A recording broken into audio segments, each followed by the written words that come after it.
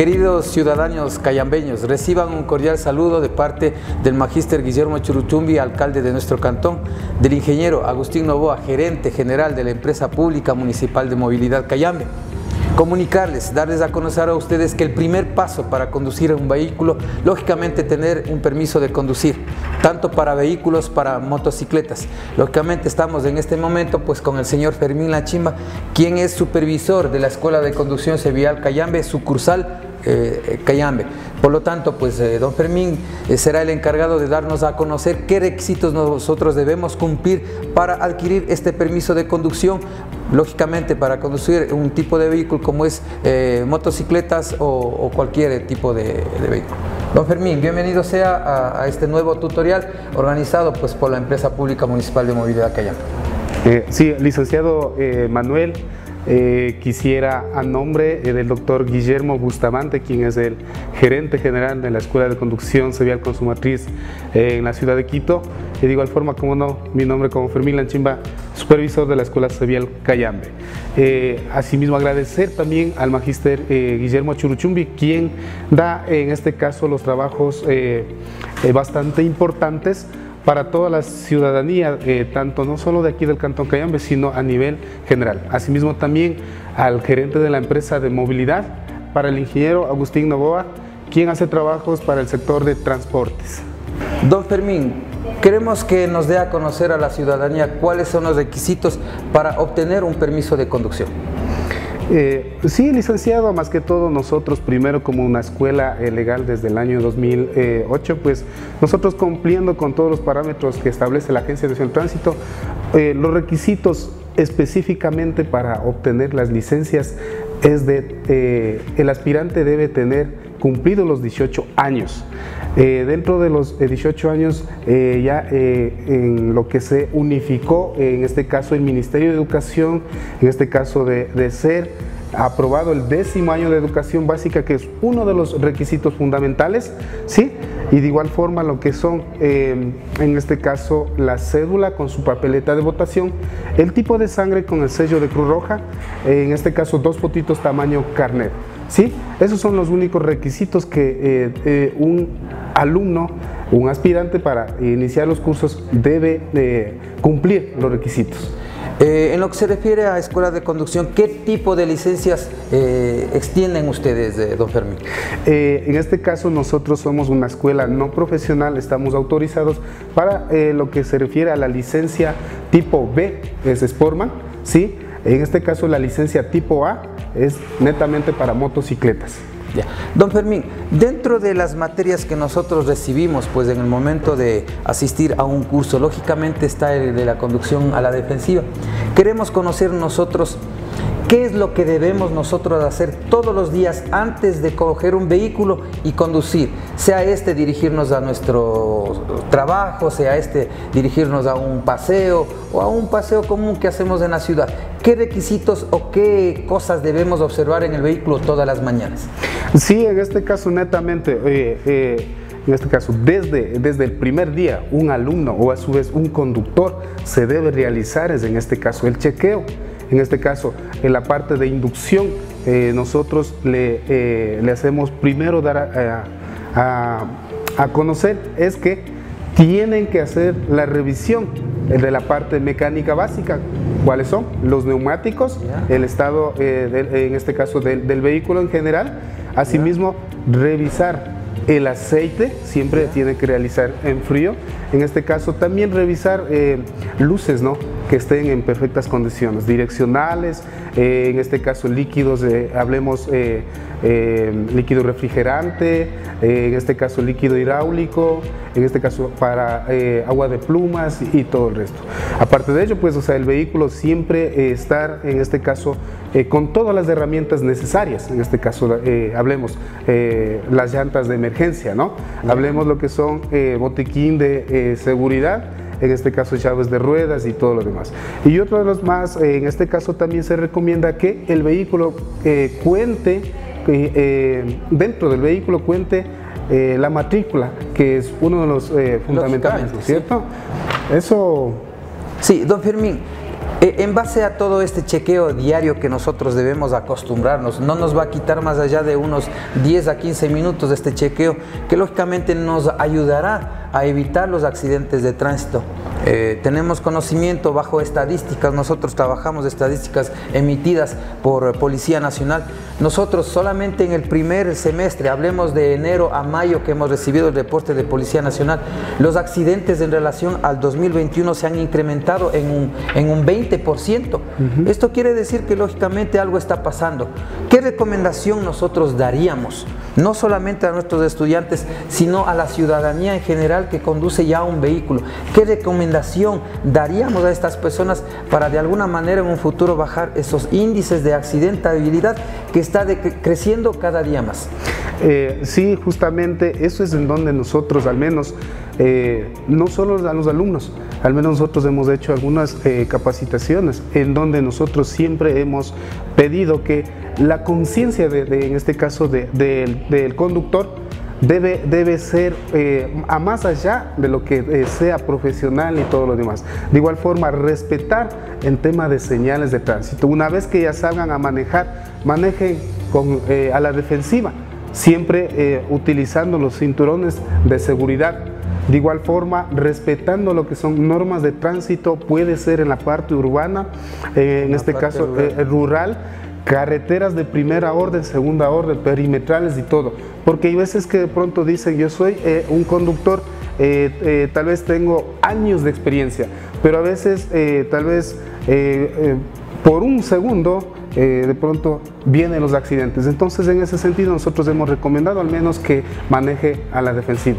Sí, una, una pregunta, mi don Fermín. Como Escuela de Conducción Vial, ¿se ha hecho alguna campaña que ayude a esta disminución de los accidentes de tránsito dirigida a la ciudadanía? Sí, así es. Nosotros, al menos como la Escuela de Conducción, eh, eh, en la matriz, en este caso con la Agencia Nacional de Tránsito, hemos estado parte del pacto vial, eh, que hemos, eh, hemos trabajado y hemos estado parte, en este caso haciendo las capacitaciones a diferentes instituciones públicas, privadas, en donde hemos tenido acogida y de igual forma ha habido respuestas positivas. Sí, don Fermín, para la ciudadanía, ¿qué tiempo dura el curso? Para nosotros poder acceder y adquirir nuestro permiso de conducción? En este caso, bueno, nosotros cumplimos también las normas por la agencia. En este, eh, dentro de ello, eh, el curso eh, práctico es de 15 horas de manejo práctico y las clases de teoría de igual forma 15 horas, en donde cumplen lo que serían las 30 horas un alumno. Dentro de ello, pues bueno, todo el proceso, en, en este caso nosotros le entregamos el título de haber seguido el curso, eh, en un mes y 20 días nosotros le entregamos. Una pregunta clave, mi don Fermín. ¿Verdaderamente los conductores que asisten a un curso de conducción, a la escuela de civil o a cualquier escuela de conducción a nivel de, todo el país, salen verdaderamente capacitados para conducir un, vehículo o en cierto tiempo necesariamente tienen que hacer un refuerzo para, para esto? Eh, Sí, licenciado, más que todo hay que ser eh, eh, realistas en esto, ¿no? En este caso, eh, desde la Agencia Nacional de Tránsito establece, en este caso, las horas de capacitación. y dentro de ello, hay que decirlo, la realidad.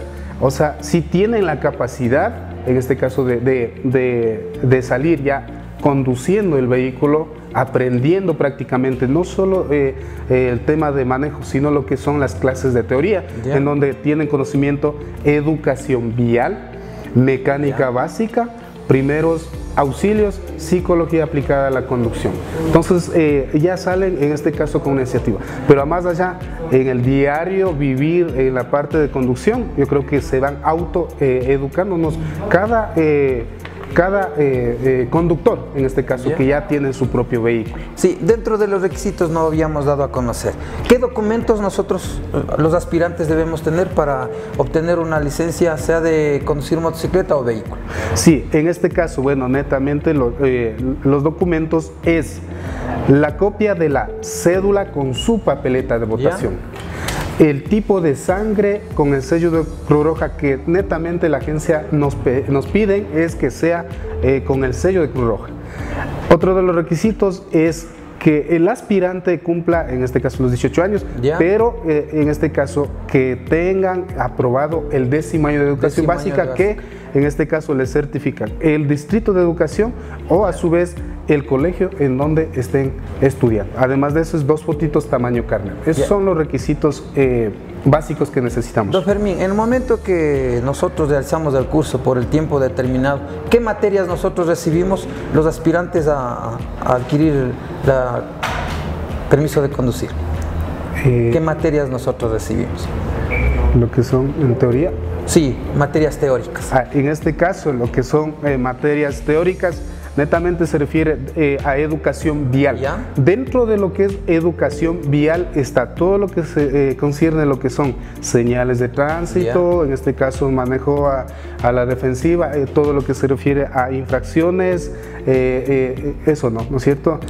aparte de ello, también en lo que es mecánica básica, todo lo que es funciones dentro del vehículo, en este caso conocimiento, todo lo que se refiere al sistema eléctrico básico, sea, los instructores, o sea, aquí le, dan en esas clases de inducción, en especial en las clases de mecánica. Aparte de ello, las clases eh, de psicología aplicada a la conducción, que eso es muy importante para que los estudiantes tengan mayor eh, conocimiento en esta clase, en la, parte de eh, psicológica. ¿no? Y otro de los principales que también materias que reciben es la parte de primeros auxilios. De igual forma, clases, eh, clasecitas básicas que los docentes en realidad le dan eh, a conocer cuáles son, eh, eh, cómo se debe atender eh, a un, en un accidente, cómo se debe atender o de pronto qué pasos tiene que realizar antes de pronto de, de, coger a un herido. Entonces, todos esos pasos nosotros le damos aquí. Ya. Don Fermín, luego de nosotros pues de aprobar el curso en el tiempo determinado estipulado por la Escuela de Conducción, lógicamente hay un siguiente paso. ¿Cuál es el siguiente paso? Luego ya de haber aprobado el, curso de, de conducción. Eh, sí, justamente una vez que nosotros ya eh, eh, procedemos a lo que es la legalización del título, nosotros le entregamos en un lapso de, un mes y 20 días. En ese ya nosotros le entregamos y el alumno o el aspirante ya netamente son trámites personales, tienen que hacer la actualización de los datos en el sistema de la Agencia Nacional de Tránsito, en donde ya proceden a generar orden de pago para cancelar eh, el valor de la especie, eh, que es de 68 dólares, de la especie, de la licencia no profesional. Y una vez que ya pueda, eh, cancelaron, pueden generar el turno para la Agencia Nacional de Tránsito y ahí en donde tienen que ir a rendir de igual forma todo lo recibido de las clases de teoría, entonces van a rendir las pruebas en la agencia. Una vez rendir las pruebas, la agencia le entrega la licencia. Ya. Don Fermín, en el momento que nosotros, pues lógicamente recibimos a nuestros alumnos, lógicamente no, todos tenemos las mismas actitudes, mismas formas de pensar, de actuar. No todos sabemos conducir un vehículo previo al curso que nosotros vamos a realizar. Nos vamos a enfrentar muchas veces con personas que no saben conducir un vehículo. Y lógicamente cuando se suben a un vehículo por primera vez, hay ese temor, ese miedo a lo mejor de, de ocasionar un accidente de tránsito, de dañar el vehículo, qué sé yo. ¿Qué hacemos con ese tipo de alumnos? ¿O qué eh, trato específico damos a ese tipo de alumnos? Sí, eh, justamente, eh, licenciado, nosotros sí hemos tenido esos casos, pero más allá de eso, nosotros, nosotros tenemos primero instructores y docentes que son calificados por la Agencia Nacional de Tránsito, en donde, a más allá de, los conocimientos de, lo que es profesional y todo eso, ellos tienen eh, eh, lo que es eh, la paciencia necesaria. Y, siempre nosotros hacemos las evaluaciones, en este caso a cada uno de los alumnos, damos seguimiento en qué desarrollo está. En este caso, si es que algún alumno de pronto no está en condiciones, digamos, de pronto en las clases prácticas, digamos, o sea, no está en buen desarrollo, nosotros o sea, tenemos en este caso en la parte eh, de, eh, le invitamos acá para que nosotros, o en especial mi persona, hacemos de conocer en, eh, realidad de pronto, tal vez tuvo de pronto algún accidente de tránsito, de pronto algo, algo psicológico de pronto el, el aspirante tenga. Entonces por eso nosotros llegamos a un diálogo y de igual forma damos pasos de charlas, hacer conocer todo el ámbito de las clases que está recibiendo el alumno. Sí, otra pregunta, mi don Fermín. Lógicamente el, tiempo de duración pues, o de expedición de alguna licencia tiene un determinado tiempo. Llega que a lo mejor a los 5 años, 4 años, desconozco en ese sentido. Pero si ya tengo que renovar una licencia, ¿qué procedimiento yo como usuario debo realizar para renovar una licencia? ¿Hay que seguir un curso adicional o necesariamente tenemos que optar por otro, por otro camino? Sí, en, el tema de las renovaciones de licencias, en este caso, bueno, eh, eh, siempre cuando ya el día que se caduque o, también pueden hacerlo antes de tres meses de caducidad, pueden hacer la renovación de la licencia. En este caso, pasos que hay que realizar. Eh, primero, eh, realizan, eh, eh, generan el turno más que todo para la Agencia Nacional de Tránsito, cancelando el valor de la especie, dependiendo de tipos de, licencia, puede ser profesional o no profesional, y ahí en donde cancelan el valor de la especie, una vez cancelado la especie podrán generar el turno, ¿sí? Y ya para ir a rendir las pruebas de la Agencia Nacional de Tránsito, sí, específicamente al menos nosotros habíamos sido siempre como escuela cevial, hemos invitado de que si es que hay la posibilidad de que algún aspirante venga y, ingrese a las clases de, lo que es educación vial y todo eso, o sea, para que tengan conocimiento para ir a rendir las pruebas. En esa parte nosotros siempre hemos sido abiertos. A más allá, a más allá también existe lo que son eh, dentro eh, del sistema de la Agencia Nacional de Tránsito que está un simulador que también pueden practicar lo que son las eh, para rendir las pruebas de las clases de teoría. Ya, don Fermín, para ir ya finalizando este tema muy importante que ha sido de información para la ciudadanía, nosotros, ¿qué debemos hacer antes de conducir un vehículo? en este caso, recomendarlo, en este caso, a todos los conductores, ¿sí? Recomendar de que siempre hagan un, eh, chequeo eh, total eh, antes, incluso antes de subir al vehículo. ¿Ya? ¿Sí? De igual forma, también deben obtener la licencia.